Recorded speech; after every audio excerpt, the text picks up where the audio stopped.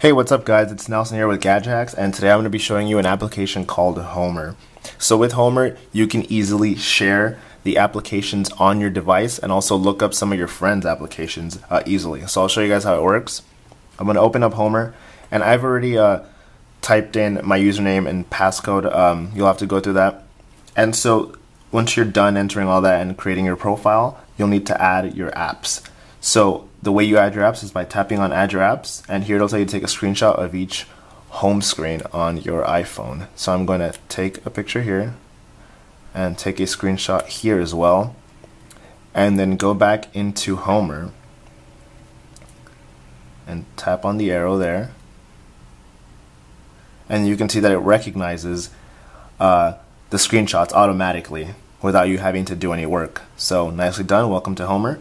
And here in trending, you'll see profiles from other users that are popular. Uh, if you tap on the eye here, you can go to friends, trending, notifications, and settings.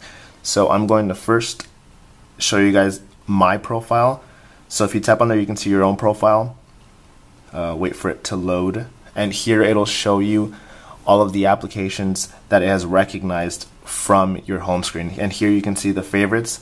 Uh, it'll you can choose favorites, which will be highlighted by yellow, as you can see and here is my uh, my home screen. And you can see the applications. And here are the rest of the applications on there.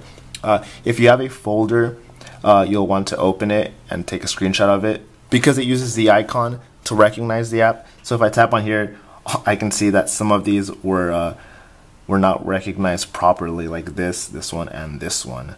So if there's something that's not recognized you can tap on it and say this is not my app and you can search for uh, the actual app that you have in there.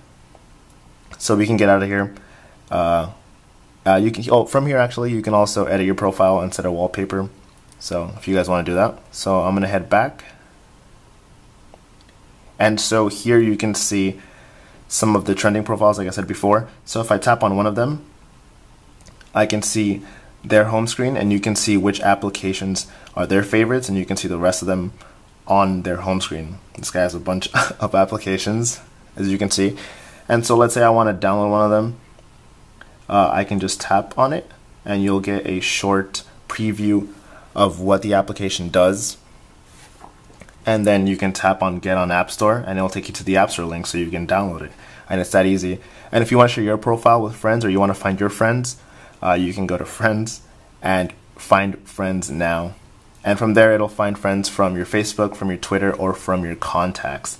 So it's an easy way to share profile or actually share applications with uh, with family or friends. All right, well that's it. Thanks guys. Don't forget to like, comment, and subscribe, and check out the full tutorial over at Gadget Hacks. All right, thanks guys.